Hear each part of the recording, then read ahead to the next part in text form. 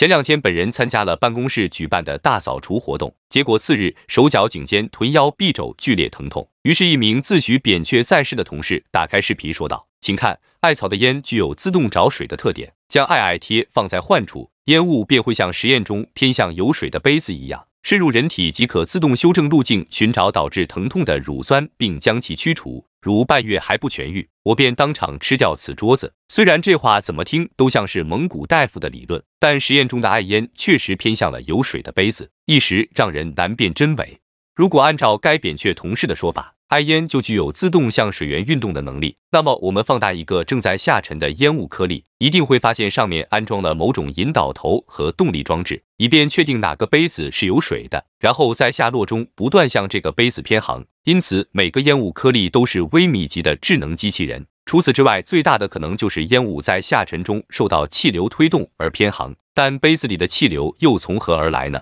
从实验看，放 IIT 的杯子是口朝下的。艾草燃烧的烟雾会从药柱的中心孔穿过杯子底面的小洞向下沉降，表征这段烟雾流动状态的雷诺数等于其密度流速和截面半径的乘积除动力粘滞系数，目测也只有几十，因此烟雾会保持有序的层流，像一根柱子向下延伸。同时，这段烟雾冒出来时还具有较高的温度，使周围的空气受热膨胀，从下方的开口溢出，进入底下的两个杯子里。目前看并没有什么异常，但是给其中一个杯子倒进凉水，水面就开始缓慢蒸发，并从周围吸收热量，这造成空气在上方的杯子里膨胀溢出，又被下方的水面吸热降温而收缩，在上推下拉中。空气在这两个杯子里的下行速度超过了旁边的杯子，因此向水面运动的空气，由于流速较快而压力较低。和向另一出口运动的空气形成了压差，于是空气受到压差推动，开始向流速较大的出口运动，并从另一侧开口补充空气。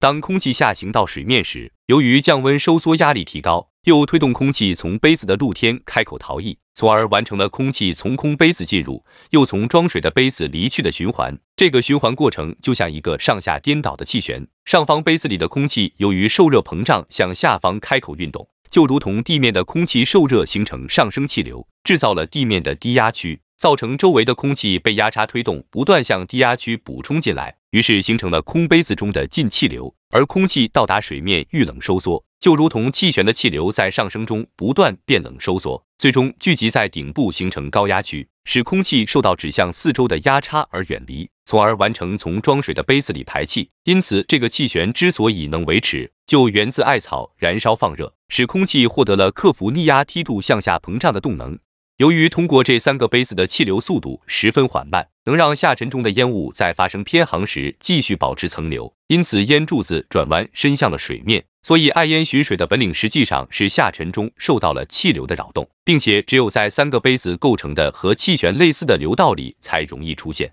但有微商抛出了新的论据，说是古人行军打仗渴得要死，就薅上一把艾草点燃，让烟雾顺着土壤缝隙在地下蔓延，最后会在方圆五里内有水的地方冒出来。因此，自古以来艾烟就会找水。也就是说，烟雾从燃烧处向下扩散时，可渗透将近二十平方公里的土壤，并且到达地下某处含水层后，还要在前方和下方都受到充分阻挡而不断聚集，最后冒出地面被人发现。但土里的烟雾只能被燃气或热空气的压力推着走，要克服地下巨大的阻力，移动二点五千米，靠燃烧一堆艾草的热量根本无济于事，这只能借助核爆炸的威力。因此，要想用微商说的这个方法找水，古人行军打仗时就要多带几颗氢弹。